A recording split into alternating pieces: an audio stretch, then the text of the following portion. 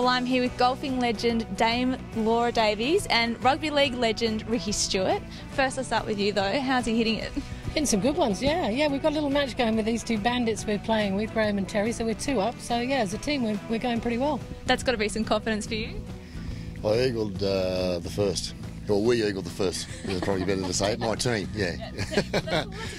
no, it's good. It's, it's a privilege to be able to play with Laura, and even uh, the balls went up and uh, they both fell my way. How are you feeling ahead of tomorrow and, and, and the tournament?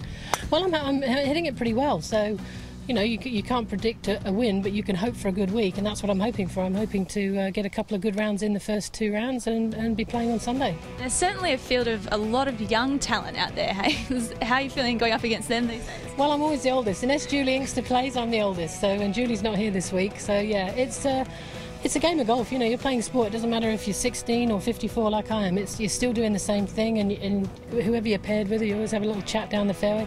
Age seems to become irrelevant uh, when you're playing sport together. So, I love it. You know, all these youngsters keep me young anyway. Have you turned Laura into a Raiders fan yet? Yes, after the first hole. Is that correct? Absolutely. I've got a team to follow now. Yeah. We get all the rugby at home really early, 6 a.m. in the morning when, when you know, get up and I watch it and I'm never really following anyone, so right. I can follow Canberra now. Perfect. We'll have fun out there and enjoy the tournament. Thank you. Thanks very much.